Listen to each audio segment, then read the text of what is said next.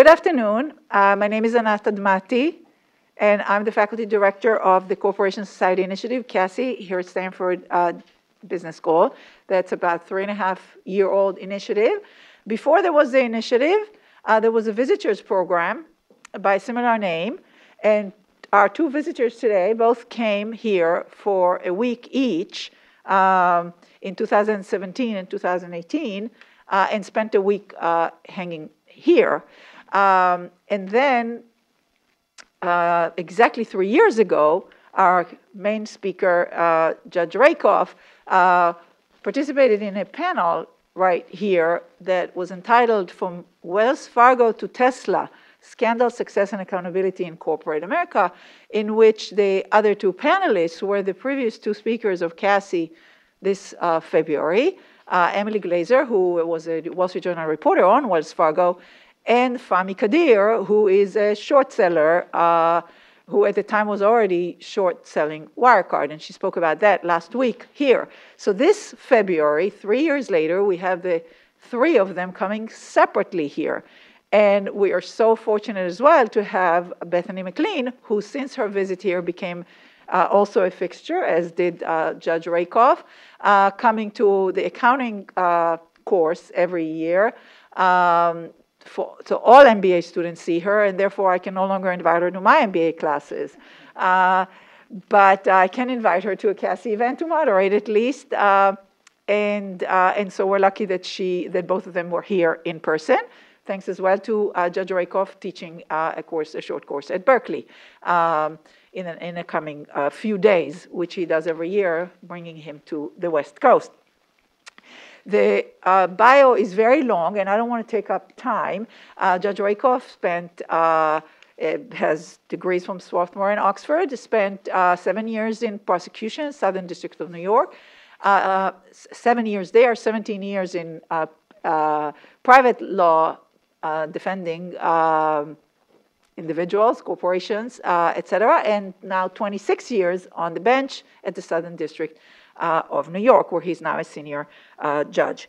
Uh, and Bethany McLean is uh, very famous around the business school, of course, and the entire business community, especially ever since her understatement of the decade at least, uh, is Enron overpriced? Uh, in a story she wrote a few months before uh, Enron's collapse, which uh, then made her the natural person to write that story, The Smartest Guys in the Room, which was also a documentary, and she's uh, most recently uh, was able, because she's a free commenting person, to discuss Theranos and cases of this sort, which which Judge Rakoff cannot comment on because it's still under appeal.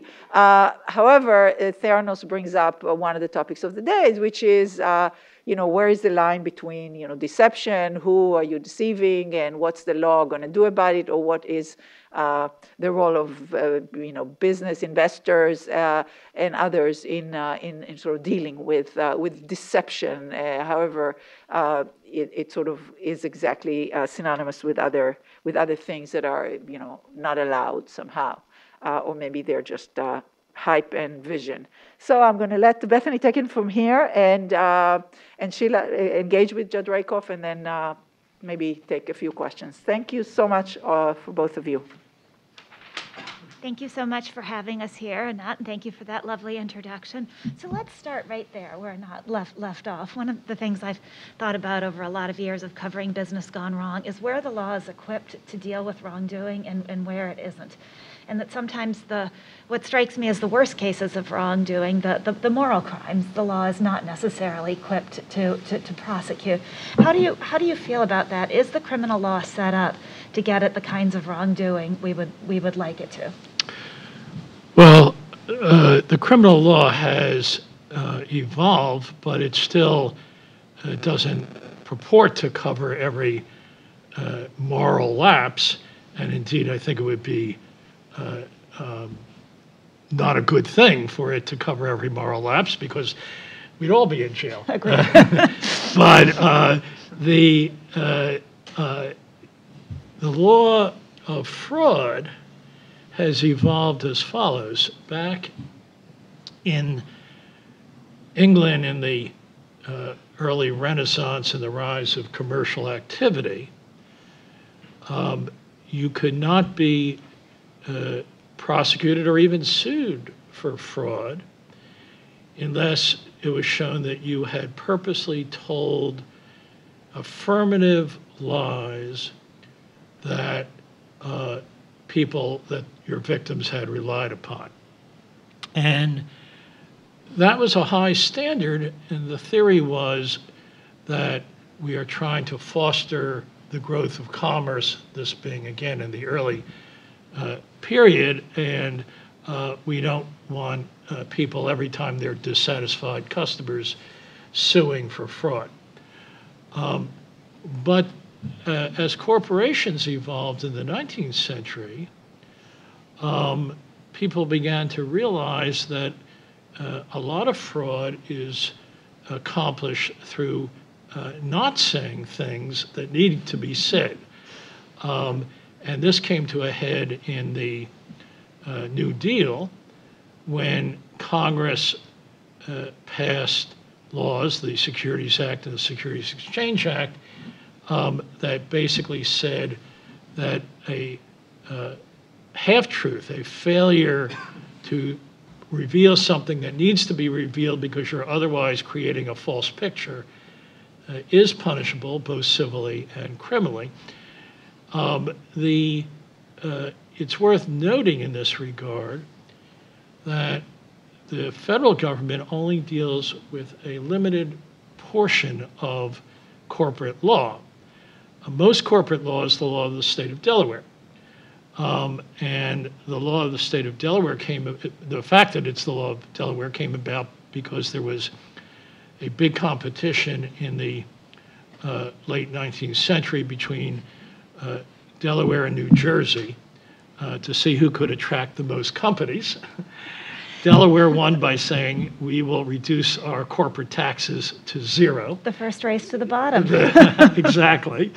Uh, and Delaware has been very favorable to um, corporations. So, for example, there's the so called business judgment rule, which was a creation of Delaware, uh, which says that even if you did something arguably wrong, if you were exercising reasonable business judgment, it's okay. Um, so a lot of what would uh, be considered immoral conduct, for lack of a better word, or improper conduct, is still not punishable. But if it goes as far as fraud, then the federal government can step in. So when you look at where we are, do you think the law can go far enough in punishing cases of deception?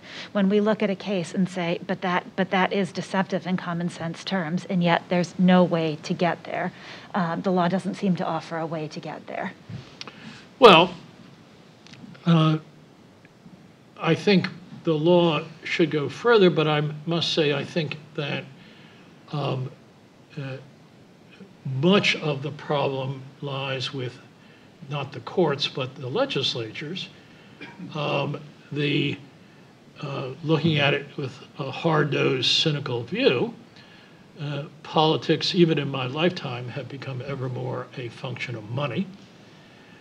And we all know that whereas back in, say, 1950, the top 1% of uh, the United States uh, in income terms uh, held 10% of the companies. Uh, I'm sorry, the one, the top 1% of people held 10% of the uh, company of the country's wealth. The top 1% of uh, the country now holds 33% of the one third of the country's wealth.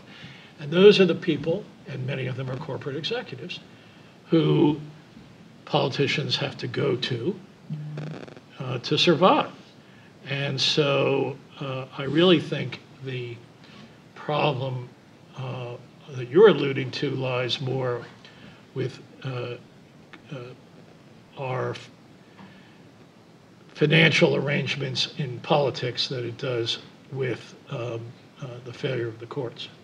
It's really interesting. You mentioned in class, um, in the class previously, and it was something I had not thought about before, that the growing inequality in the United States, as well as the growing short-term nature of securities ownerships, of securities ownership, are both both problems for the law in a sense, or, or, or hurdles for the law. And maybe address that a bit because it was something that had not occurred to me, and I think is really interesting.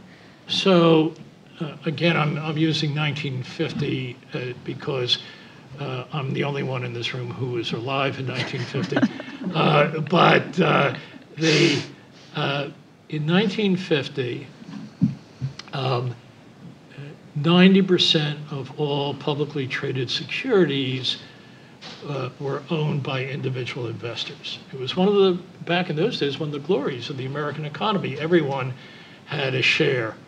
Um, now, 90% of all publicly traded securities um, are held by institutional investors, mutual funds, uh, pension plans, and so forth. And they have a very different outlook on what they want. They want short-term profits. So back in 1950, the average investor held those shares for seven years. Today, the average investor, who's now an institution, holds those shares for seven months.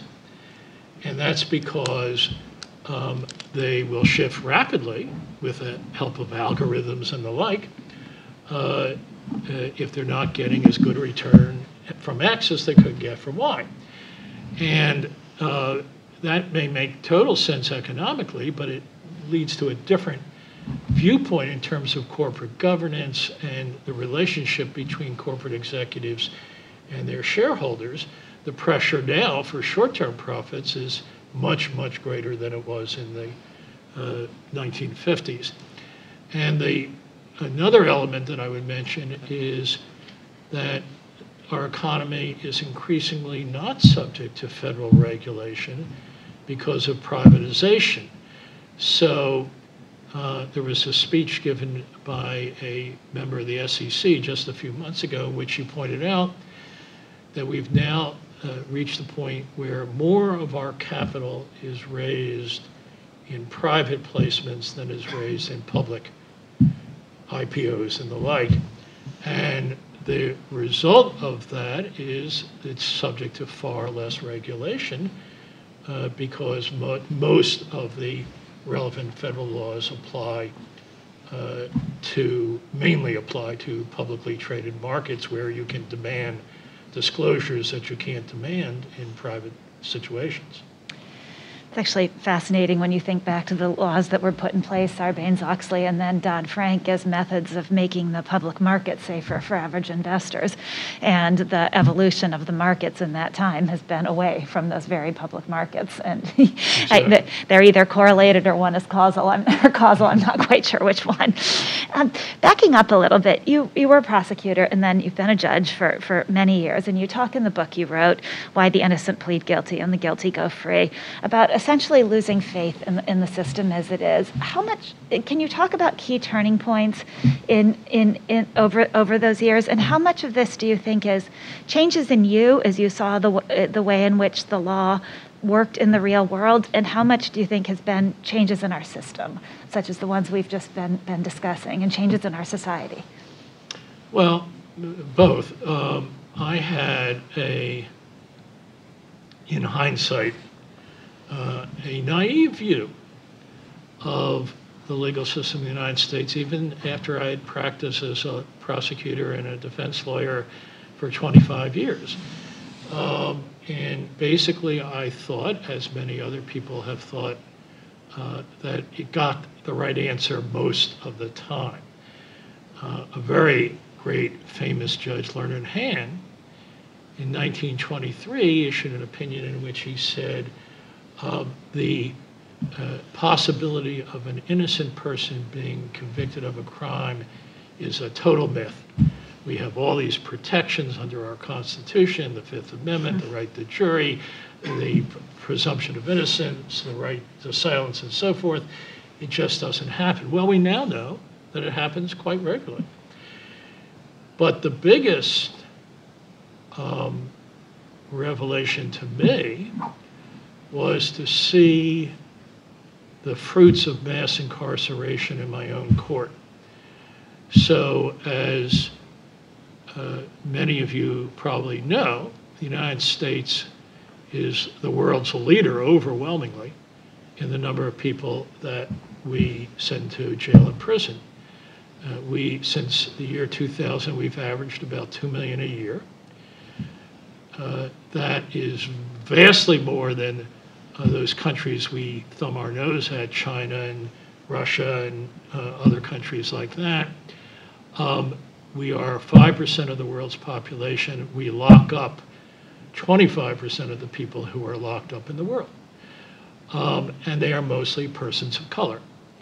Uh, they are almost all people who are poor. And I kept seeing in my court, still see, every day, every week, these people who uh, you can understand how they got to commit the crimes they committed uh, because they had just terrible upbringings with the state totally failing to help them out in any uh, meaningful respect. And then, at the other extreme, we have corporate executives who commit wrongdoing, who the government, for since about 2006, has chosen, with virtually no meaningful exceptions, not to prosecute at all. So when I became a judge, I took an oath to apply the law equally to rich or poor. But the law in the United States is not being applied equally to rich or poor. It's being applied incredibly punitively to the poor and applied incredibly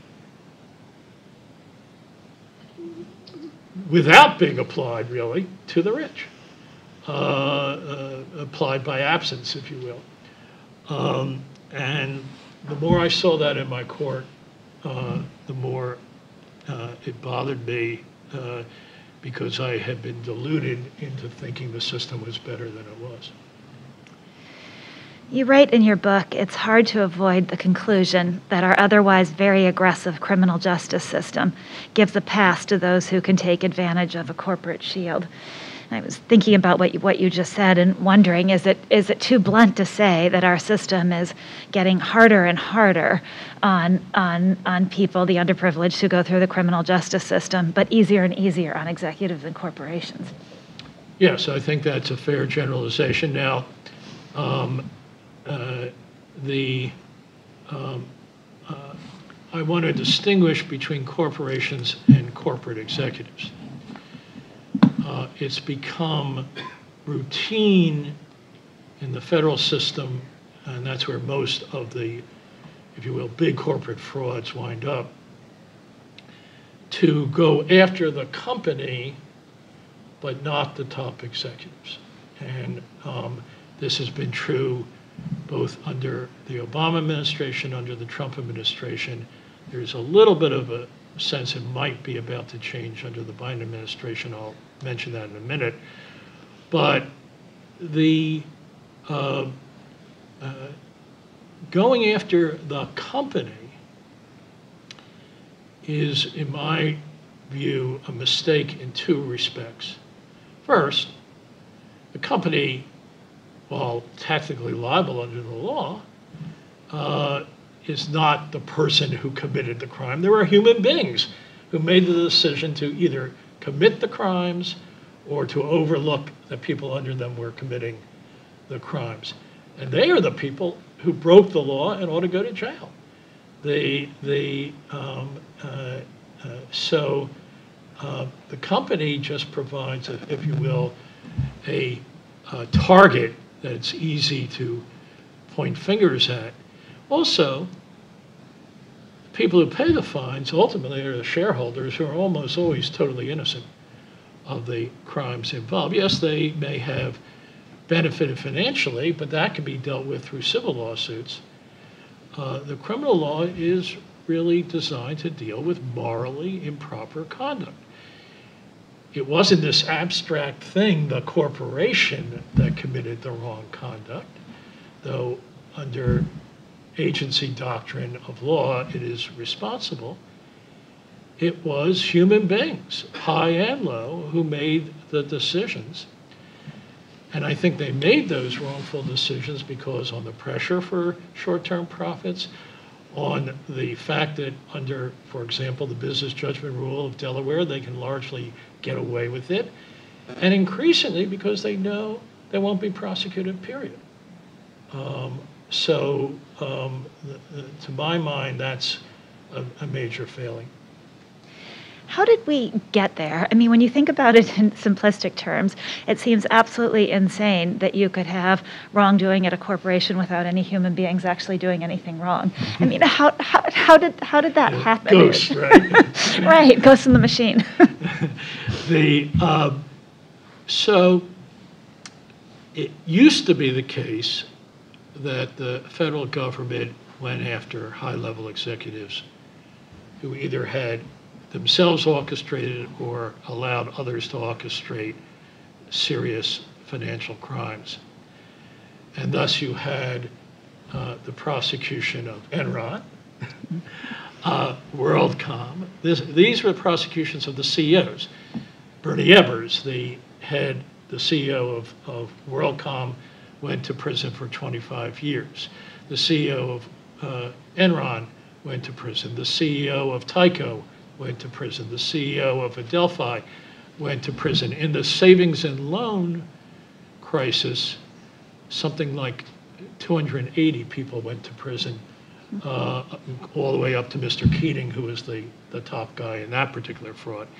And um, this changed, hard to put an exact date on it, but sometime around 2005, 2006, uh, just as the, some of these most famous prosecutions were ending, um, when uh, the government chose largely and originally for resource management reasons to only go after the corporation. It's such an easy thing to go after the corporation because under federal law, the crime of even a low-level person is imputed automatically, automatically to the uh, corporation. So you would, uh, if you were a prosecutor, you would learn often from the press that some low-level guy had committed a accounting fraud, let's say, fixed the books in some particular respect. And you would now have a case against the corporation automatically. So you would bring in the lawyer for the company, who typically was a former colleague of yours. A typical outside lawyer would be a former federal prosecutor from the same office. Uh, and uh, he or she would say, uh, will, we want to do everything that's right. We will undertake an investigation and uh, give you the results in six months, and we'll spend millions of dollars on it. And the feeling, even at the low level, but particularly at the higher level, was great, we've got a bunch of other things we've got to deal with. We are spending a lot of uh, person power on anti-terrorism and cryptocurrency problems and other newly developed problems. Uh, here's one way to uh, save resources. And then the company's lawyer would come back after six months, uh, at a big fee, by the way, uh, and uh, uh, say, oh, yes, there were some problems at uh, a low level, but we fired those people or we've disciplined those people, and uh, we don't think the company should pay uh, at all. Uh, After all, our shareholders were totally innocent. And then there would begin a negotiation. Well, maybe the company does have to plead guilty to at least something so that we can tell the public we've done something. Not that it was ever said in that way. Um, And ultimately, you would have either a deferred prosecution or an outright prosecution uh, with a big press conference. And uh, Today, Company X is paying a fine of $2 billion and is instituting new compliance measures. Uh, And of course, we're not uh, foregoing the possibility that we'll go after some high-level executive. But they never did, and they never could, because they hadn't done any of the legwork. They didn't have independent people doing the investigation. They were totally dependent on what they got from the uh, outside camp, outside counsel. So I've come to think of um, deferred prosecution agreements of the, the- and, and this setup as a sort of wink, wink, nod, nod extortion, extortion system in which the government gets to get the corporation to pay some kind of big fine, and the corporation is willing to do that because the big fine comes out of the pocket of shareholders, not out of any of their pockets, and everybody just smiles and nods and collects a fee and, and moves on. Is, is that too cynical? Oh, you can never be too cynical. Uh, The, the, uh, uh, I, th- I think that's uh, essentially a correct picture. And now, in fairness, the department over the last seven or eight years has moved more towards outright guilty pleas and away from deferred prosecutions. They had, in the years between 2000 and a few years ago, something like uh, over almost 300 deferred prosecutions.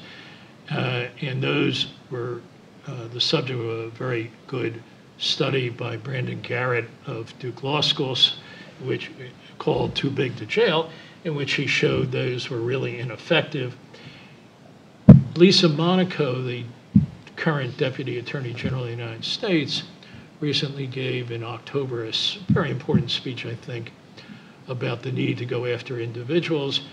Uh, But she also pointed out in the course of that speech that something between 10 and 20 percent of those companies that had entered into deferred prosecutions had then committed new crimes. Um, So a high, high level of recidivism. Uh, And of course, she didn't say this in her speech, but in virtually every one of those deferred prosecution press conferences, the company said, we're terribly sorry this happened. We will never, ever do it again. And we have put in place compliance measures that will prevent it ever happening again. And that hasn't proven to be the case in too many cases. You talked in your book about the example of Pfizer, and maybe it's worth spending a few minutes on that here about the, and some of the stats in your book from Brandon Garrett's study are quite amazing. I think he said that in two thirds of the cases involving deferred prosecutions or non prosecution agreements, um, the companies were, were, were punished, but no employees were prosecuted. And I think the, the numbers were 50% recidivism. Anyway, but maybe talk about that data through the lens of Pfizer and what it, what it showed you. Yeah, well, of course, uh, uh, right now Pfizer is uh, a hero uh, as a company uh, for obvious reasons. But uh, Pfizer, uh, way back when, entered into not just one, but a series of deferred prosecutions, each time promising this was the end and we would never do it again. And you may wonder, why did the government keep giving them deferred prosecutions as opposed to taking stronger steps? And the reason uh, is that uh, under federal law, a pharmaceutical company uh, that enters a guilty plea to a felony uh, can, uh, it's not an automatic, but uh, can often be barred from selling prescription drugs to the public, which would, of course, put Pfizer out of business. Uh, So the prosecutors didn't want to have that happen, so they said, okay, we're really mad that you did this again, we're going to up the fine to more, we'll give you a new deferred prosecution, we'll put in more compliance measures. And that didn't stop Pfizer from continuing to break the law uh, because it was in their economic interest to do so. Um, Notice that all those dilemmas that the prosecutor faced don't happen when you go after individuals. When, uh, uh, you- when you go after a high-level individual, you don't have to worry, this is going to put thousands of people out of, out of work, or it's going to have the company collapse, or any of those things that were present in the Pfizer kind of situation. You're just going after the guy who done it, so to speak. Uh, or who allowed, knowingly allowed others to do it. Um, uh, So these are self-created dilemmas, in my view, and they've led to, as Pfizer illustrates, a, a- a really hypocritical situation where a company is claiming, we're sorry, we'll never do it again, and then two years later, they do it again. Would one solution to that be to simply um, abolish the idea of prosecuting the corporation and only prosecute individuals instead? Well, Or is there a place for Yeah, corporate prosecution? you know, it's, uh, I'm, I'm, uh, I think every case is different. Uh, and it's, uh, uh, but I think there is something to be said for not prosecuting companies, particularly where you can go after the high level individuals. Um, the, um, uh, the comp- going after the company does serve some symbolic purposes. It does bring to the attention of the public in a way that it hasn't br- been brought that this, there were people in this company who seriously broke the law. Uh, uh, But, as I say, who really pays? It's the innocent shareholders. Yes, sometimes they have benefited financially from the crime, but that can be the subject of civil uh, lawsuits and typically is. Um, And uh, the other thing that come, can come about is a, quote, change in corporate culture by instituting compliance measures. All the people I've talked to say that one of the reasons that compliance measures haven't been effective in so many cases is it's just viewed as a checklist. Uh, there's the government says, oh, we got to check that box, so we'll check that box. But if we're going to make money, we still have to find ways to, to do it that may push the law or go beyond the law. Uh, so, in, in my view, um, I wouldn't think it would be the end of the world doing away with corporate criminal prosecutions if we return to the practice of making cases against high-level uh, individuals. Uh, But that's the big if. Can we pause on that? This is going to sound like a very naive question, but I actually did think. And I don't believe any question you would ask is naive. I actually did think that the Justice Department was supposed to be independent, and it's interesting in light of this new memo, new guidance from Lisa Monaco about prosecuting individuals. Similar guidance was given in the waning years of the Obama administration by Sally Yates. And yet, as you discussed earlier in class, once the Trump administration came in, that guidance effectively was was was was sidestepped. And so, how do you how do you think about how much how do you think about how much justice seems to be wound up with politics? Well, um, I think it's inevitable that the highest levels, um, uh, there will be a lot of interrelationship between justice and politics. It's not a good thing, but there it is. The Attorney General of the United States for 200 years has been a buddy of the president, often his one of his main political guys. Uh, uh, the the um, so uh, this is not exactly new. Um, uh, in the Obama administration, the decision not to go after uh, high level executives was mainly made by people near the top or at the top of the Department of Justice, not by the line assistants.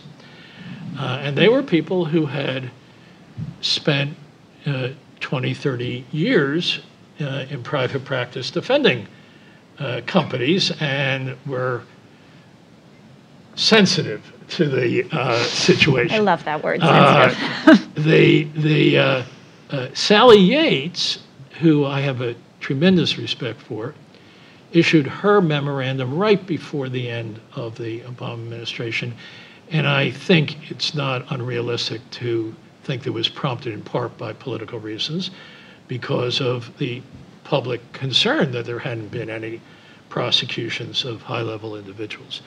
So she said, among other things, that if a company that was doing a deal with the government wanted leniency, they had to provide all the information that their outside counsel had found about individuals, whether high or low. The Trump administration almost immediately changed this to they only had to provide uh, information uh, about people who were substantially involved in the crime. And the word substantially is a weasel word that can mean a lot or a little.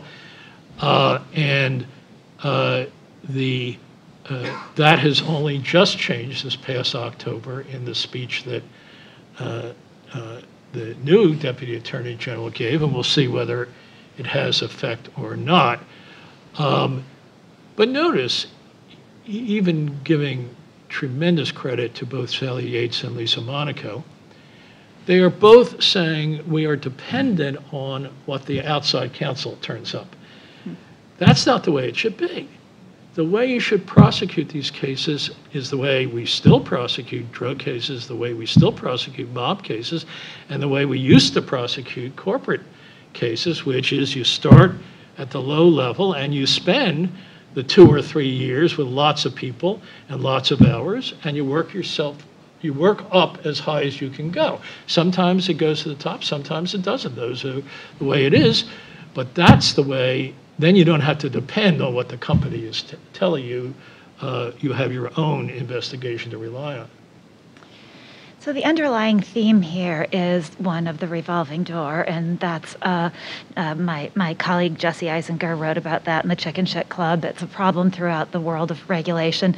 I've always been a little bit torn about it in, in the legal field, and I know there is no, no door more revolving than that between uh, the, uh, um, um, U.S. attorneys' offices and big big law firms, and yet in some ways there's there's a benefit to this in that people who have been on the inside of the system understand how the system works, and yet there's a cost to it as well. And so how do you how do you weigh those trade-offs between the benefit of understanding the system and the costs involved in in in the the the, the sort of implicit corruption that can happen as a result of that? Yeah, and that's not uh, an easy question to answer. There, there, uh, there's an apocryphal story. Uh, it's existed for many years that when Franklin Roosevelt appointed Joe Kennedy to be the chairman of the SEC, when it was well known that Joe Kennedy, the father of Jack Kennedy, had engaged in questionable financial dealings, uh, FDR uh, said, in effect, uh, it, uh, uh, a real crook can know how other crooks operate. Um, so um, the I don't know if that story is true. Um, It better but, be. but uh, the, the the point is going in the opposite direction. If you're a young prosecutor and you get one of these cases, there are two emotions coursing through your veins. One is moral outrage. Wells Fargo created millions of fictitious accounts. We've got to find out how that could happen. Surely there was someone higher up who knew that was going on when it was that widespread. But there's also human beings being as they are. And yes, if I make this case, I will be the most famous prosecutor uh, of the moment uh, and get a big uh, uh, partnership in a big law firm. Right. So that's the conflict at the lower level. At the higher level, it's much more, I think, sophisticated, but also just as real. Um, and it cuts the other direction. Um, the uh, uh, yes, uh, I want to have the political benefit of bringing to justice someone in this case uh, involving millions of phony accounts. Uh, But on the other hand, I know from my 20 years of private practice that uh, uh, people often don't really know what's going on. Uh, co- Corporations are complex, uh, people are very busy, and we got to be careful not to scapegoat people. Um, The, uh, so there, there are those um, differences. But the one thing that, about the revolving door that's different is those high-level people know that they will be going back to big law firms to represent the very same kinds of companies that they're dealing with there. And that they will have, be dealing on a day-to-day basis, not with the company in the abstract, but with the general counsel and the high-level executives. Uh, And uh, that, I think, can't help but uh, impact them. And some proof of that is some of the statements that were made by high-level people in the Obama administration about why they weren't going after um, high-level executives. Uh, One statement, which came from uh, Attorney General Holder, although he later walked it back, was uh, that in this perilous economic climate that we were in at the time, this would just make matters worse. Frankly, that's a good argument for not going after the company, but it's a ridiculous argument for not going after the individual. Uh, uh, And then uh, uh, uh, Lanny Breuer, the head of, of um, the criminal division of the Department of Justice, said, well, the reason we're not going after some of these high-level individuals is because um, we cannot show, among other things, that the victims really relied on the false statements that they allowed. To my mind, that was incredible that Mr. Breuer's a, a fine fellow and all like that, but in criminal cases, you never have to show reliance. That's been the law of the United States and England for 500 years. You have to show reliance in civil cases, but not in criminal cases.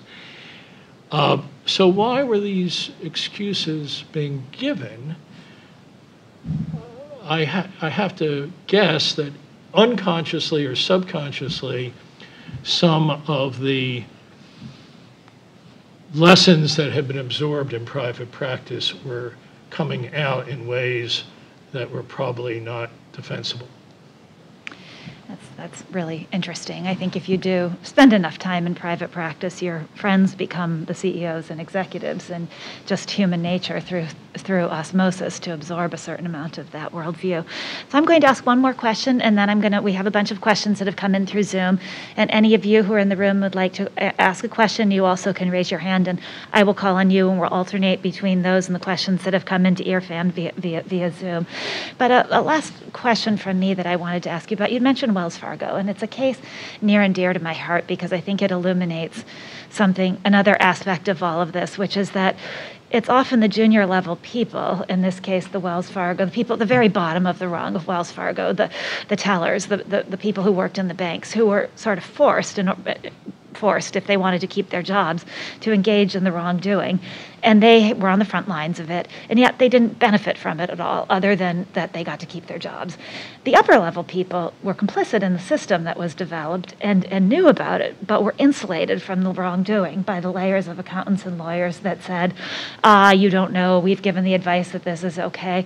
I mean, how can capitalism work in an environment like that, where the people at the very bottom are forced to take all the risk and get none of the rewards, and the people at the top get to insulate themselves from the risk and get all the rewards?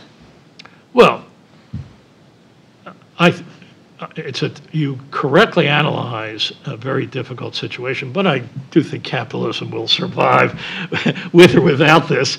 Uh, the, uh, uh, uh, and I want to add, before I directly address your question, that I don't want to be misunderstood. For all its frailties, I think the American business community is still among the most honest overall of all business communities, much more so than some countries we could all name. And uh, it's a great asset. Uh, why do people want to invest in the American economy? Why do they want to invest in our stock markets? Is because they have confidence that most things will turn out to be honest and true and um, reliable. Um, nevertheless, the uh, uh, it is absolutely correct that many financial crimes are committed in the sense of who did it, who made that wrong entry, who uh, created that false account, by low-level employees who are operating under perceived pressure, uh, and not because it's in it for them, in other than the, the, as you say, sometimes keeping their job. Um, the and so, how do we design a situation, a system, where the pressure will not exist? I mean, you always want your company to make a lot of money. You're, you know, we, we always favor, in a general sense, hard driving capitalists uh, who make us all more wealthy. But if that higher level person knows that if I don't make sure that everyone knows the one way to lose their job is to uh, do something improper, to some, that you've got to, if there's a close call, call it in favor of not doing that questionable activity, uh, or you will lose your job. That sends a totally different message. And that's why I come back at the risk of droning on uh, to prosecuting high-level executives. Because there, that creates a situation where some other executive who uh, is uh, confronted with a questionable situation will say to him or herself, I got to make sure this stops uh, uh, because otherwise I'll go to jail. And I don't really think I want to go to jail. The, and um, so uh, I think it creates a much greater deterrent effect than going after the company. So, Irfan, why don't I have you start with a question, and then I'll have anybody in the audience who has a question raise their hand next. Sure. So, with the first question we have with the rise of shareholder activism, stakeholder capitalism, and other movements in defiance of Milton Friedman's thesis, what are perhaps the one or two most important changes to the legal architecture you'd like to see in order for all stakeholders to be better served? Well, I want to distinguish here between the so-called ESG movement, which is doing wonderful things in many situations, uh, but uh, in terms of uh, systemic change, I would like to see federalization uh, of corporate governance. Um, the, as I say, most of corporate law is Delaware law. And Delaware is a fine state. I understand they, some of their senators even go on to higher things. uh, uh, but uh, it has, uh, for uh, uh, more than 100 years, created laws uh, and decisions that were very favorable to high-level executives. And um, the SEC has been much more independent within its bailiwick, uh, and there have been little changes in terms of corporate governance through federal legislation like Sarbanes-Oxley and uh, things like that. But uh, I would, if I had a magic wand, I would uh, take this power away from any state and give it to uh, the federal government. I think you would find greater independence in that situation. Delaware is really dependent on being the corporate headquarters of so many companies, and that naturally impacts uh, how it how it approaches the law in this area. So that's that's the uh, uh, change I would make. Do we have a question? Go ahead, please. Rakoff, thank you so much for coming and your continued support of Stanford. I have a question about the recidivism that you talked about with corporations do something wrong and then do it again a couple of years later. Did the data show that it was the same individuals at the top who were repeating the, cr- the crime, in which case it's kind of like the definition of insanity? or were new people coming in and then repeating the crime as well, which would imply that human nature is such that everyone's going to be corrupt if they're responding to incentives? Did, were we able to tell you know, what, It's a, it's a question better put to Brandon Garrett than to me, but he had a much more hands-on feel. Uh, But uh, I think there were situations that fit both those patterns. I don't think it was all one or all the other. Uh, uh, Frequently, um, a company's first brush with a uh, deferred prosecution agreement situation would be uh, when it acquired a new subsidiary that was engaging in improper activity. And uh, then, but the- company would then say, well, as part of this agreement, we're going to put in place compliance measures that will prevent it from ever happening again. Next time around, it was a different crime uh, by perhaps people in a different subsidiary, maybe not a new subsidiary, uh, uh, and therefore they weren't caught by the compliance measures because it was a different kind of crime.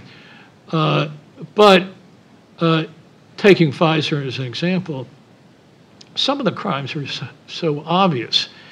Uh, paying off uh, doctors to promote questionable drugs with, you know, concealed payments, um, uh, bribes to foreign officials. But this is not like uh, uh, complex, difficult crimes that you have to analyze carefully. These were obvious, uh, but they were different uh, often. It was not always the same crime. Irfan, another Zoom question? Sure. The Theranos case has highlighted the deception unscrupulous entrepreneurs have employed to secure capital from investors. What about the other side of the coin? Here in Silicon Valley, investors have employed deception to gain valuable IP from entrepreneurs and exploited it by funding their own shadow teams. From personal experience, patent litigation is extremely expensive or onerous within the system for a small startup company to undertake, or they become barred by statute of limitations. Can you please address if and how this inequity can be remedied? I'm, I'm, I didn't pick up all the details uh, uh, of, of the question, uh, because for some odd reason you're wearing a mask. Um, The, the, uh, uh, but g- give me the, the heart of it again, if you would. Yeah, I, I guess the heart of the question is essentially, um, is there any action that can be taken to address the inequity between kind of small startups and investors who kind of steal some of the intellectual property Oh, that the okay. startups Hmm.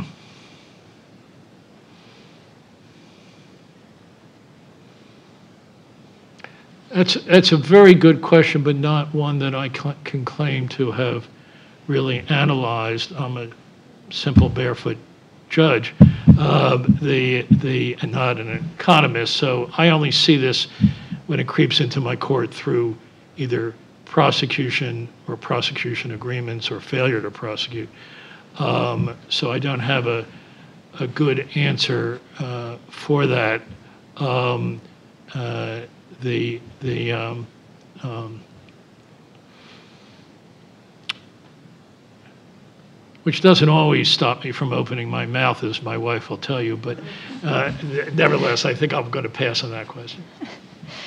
So I thought I would just close with, with, with, with asking you to, to, to muse a little bit about this is corporations and society and about the importance of the law to that. And what I, what I mean by that is I've often thought back on the great financial crisis and thought it really wasn't so much a financial crisis. I mean, it was, but it was also a societal crisis because it created a lot of cynicism about how our system works and about the prosecution of those who can help participate in causing great, great economic calamity.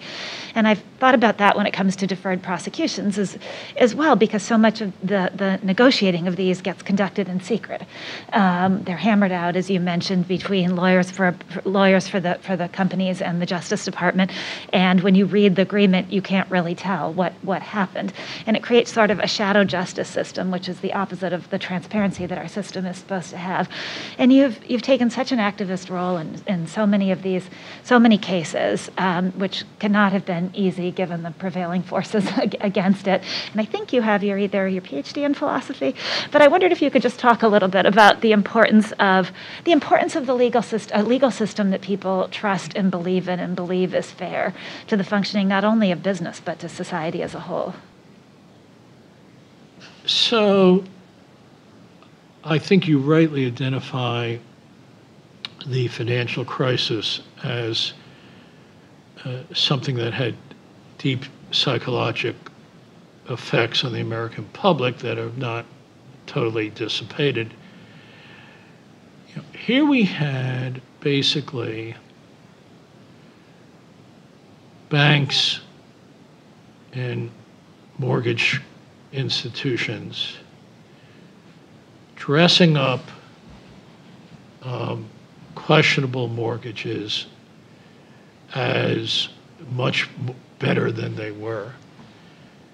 And doing that by pulling them together and slicing them and then slicing the slices and so forth to the point that it was very difficult for even sophisticated bankers to fully understand what was going on. Uh, but it had at its uh, heart fraud. And the uh, uh, what was what were the results? Well, first, a whole bunch of people were induced to enter into mortgages, so-called liars' loans, that they had no business entering into, and wound up losing their homes. And if you've ever witnessed a foreclosure, then you know what it is to cry because it is a painful, painful thing. And then, because this became so widespread, millions of people lost their jobs because of the impact on the economy and uh, the stock market and so forth. Um, and uh, sure, eventually many of them found new jobs, but not without undergoing great uh, economic hardship, and it took quite a few years.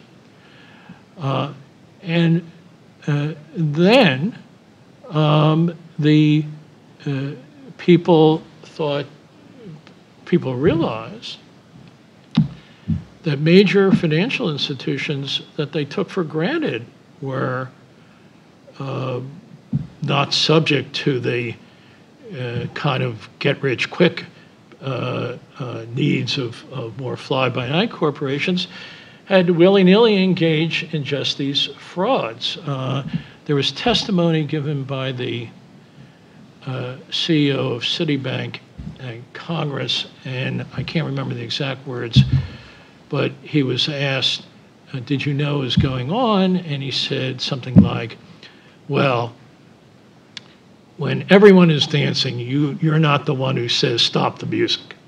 Um, and uh, so um, I, I think uh, that was, in the end, a total failure to deal with fraud that had been created over years and billions of, of dollars. And at no stage did the government deal with it, and even after the fact, the government did not deal with it in terms of the prosecutions that I've referenced. Um, and so um, you do wonder if how strong is our government in dealing with corporations and corporate misconduct if it can't deal with it at the cre- the fraud at the creation, if it can't deal with the fraud at the culmination, uh, and if it can't deal with uh, ascertaining and prosecuting the people responsible. So I do think it was a cynical, a, a cynic raising uh, situation. Well, thank you so much for being here with us, and thank you for those answers. I wish we had ended on a more optimistic note. so, my apologies. I could have steered the conversation toward a happy ending, but I guess I didn't. Um, anyway, but I've learned a lot from this conversation, so thank you very much. My pleasure. Thank you.